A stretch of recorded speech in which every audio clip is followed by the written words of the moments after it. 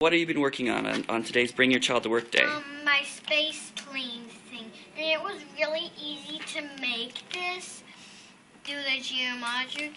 And then when we were trying to make it move like this, um, it wouldn't move. So we so my dad tried to fix it and make it all stuff, and try to fix it to see if it would do something. And then and I spotted a question mark there, and so we fixed that, and then it moved like this. Okay, show me what you got, David. I'm at let's see, Where did you make this model? um, SpaceClaim. And did, was that easy to use? Sorta. Yeah. Yeah, you made like how many of these models? You made a whole bunch of them, didn't you? Something like three. Yeah. And uh, what did you do on this one? Are we doing a harmonic response here? Um, I think so. And where are the loads? Where did you apply loads? Um, um, right here, up Yeah. on the top. Did you apply any constraints? Constraints. Uh, oh yeah.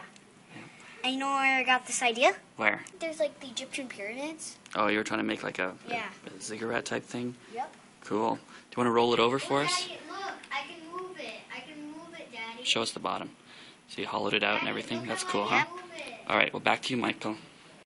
Okay, show me, Michael. Look, you just press those things and they move it. Yeah.